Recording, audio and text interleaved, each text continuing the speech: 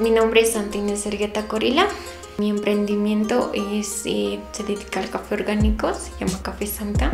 La manera nace en que lo hagamos algo orgánico, algo artesanal, algo nativo, algo boliviano también. Bueno, somos productores, pero lo vendemos en bruto, allá en Caranavi mismo. O sea, como se nos ha cerrado diferentes tipos de mercado, lo que lo hacemos es venderlo a las grandes comercializadoras de café. Eh, pues los principales problemas siempre han sido el mercado del café. ¿A dónde iríamos? El producto estaba ahí en los quintales estancados y no sabías dónde venderlo. Tenía muchas dificultades, pero he sabido adaptar porque la vida trata de eso, de las cosas que te presentan, te vas adaptando. Uf, el cambio se ha notado bastante porque antes eh, no podía ni pensar en un logo ni en la marca de mi café, digamos, ni siquiera había pensado ponerle una marca a mi café, ni pensar en el logo del café.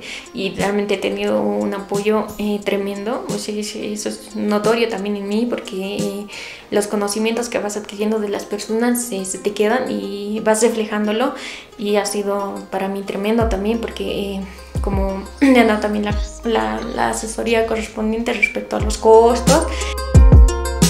Pues yo la verdad soy muy soñadora.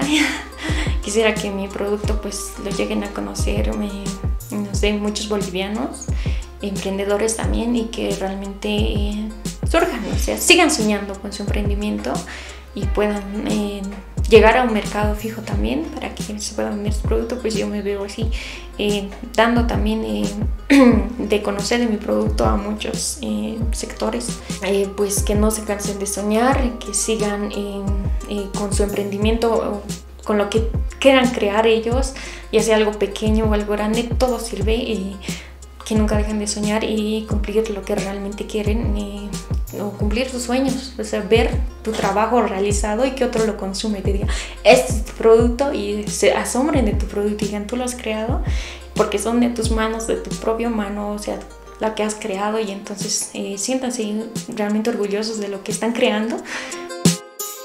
Mi emprendimiento y mis sueños siguen junto a Reactívate.